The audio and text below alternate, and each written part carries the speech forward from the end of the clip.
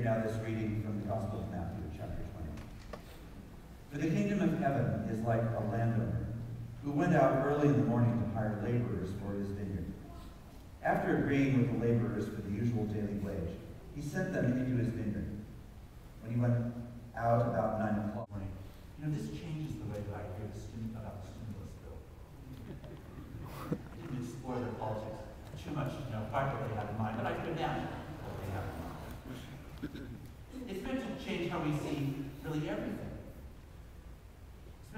we see every relationship. May we as God's people grow in our experience of being included at all in God's generosity.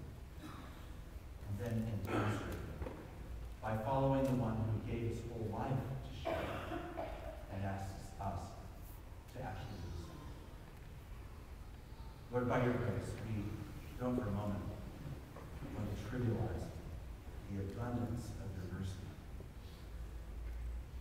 None of us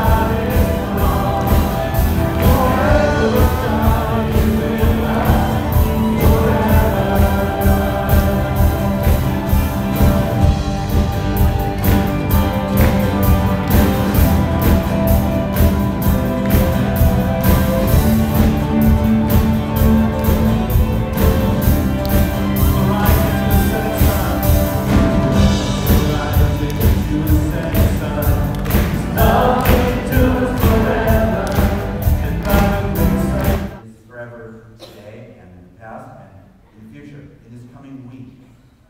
We pray that that forever love will guide us as we go out into the places where we work and play and study. Help us, Lord, in all the places that we are sent to be faithful to both